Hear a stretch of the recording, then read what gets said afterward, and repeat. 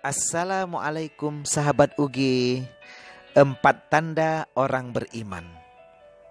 Ali bin Abi Thalib radhiyallahu an berkata Manishtaqa ilal jannati sara'a ilal khairati wa man ashfaqa minan nari intaha anis syahwati wa man tayaqqana bil mauti in hadamat alaihi ladzatu Wa man arafat dunya hanan alaihil musibatu.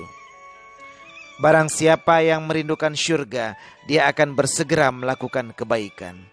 Barang siapa yang takut akan siksa neraka, maka dia akan berhenti mengikuti hawa nafsu.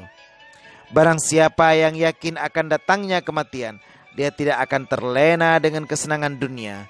Dan yang terakhir, barang siapa yang mengetahui bahwa dunia adalah tempat ujian, semua musibah akan terasa ringan.